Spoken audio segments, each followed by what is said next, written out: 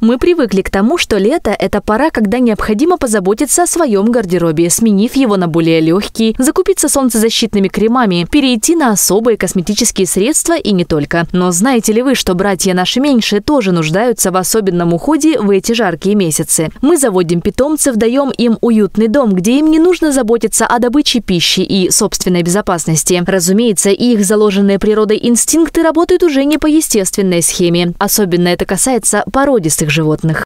Большинство этих кошек выведены искусственно. То есть это уже не те кошки, которые жили когда-то в природе, и не те кошки, которые жили там лет 50, там, 100 э, в наших домах, которые могли спокойно гулять по улице. Естественная линька у животных происходит два раза в год, весной и осенью. Это при условии, что кошка живет на улице. Но домашние кошки, они живут в квартире, поэтому линька у них происходит круглый год.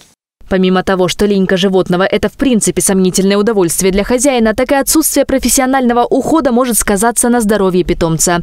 Хотя бы взять тех же самых персидских кошек, это порода искусственно выведена, это уже по большей степени закрепленные мутации, которые, в общем-то, в угоду человеку поддерживаются на протяжении многих поколений. Там на один квадратный сантиметр шерсти в 10 раз больше, чем у обычных кошек, поэтому уход очень сложный, и кошки сами по себе очень сложные, они не ухаживают за своей шерстью, они не вылизываются, и поэтому чаще всего их либо приносят к нам, да, экспресс-линьку, либо на стрижку. Ну вот, к примеру, шарпей, и нужно регулярно эти складочки прочищать, регулярно э, мыть специальными шампунями. Э, их нужно присыпать присыпкой.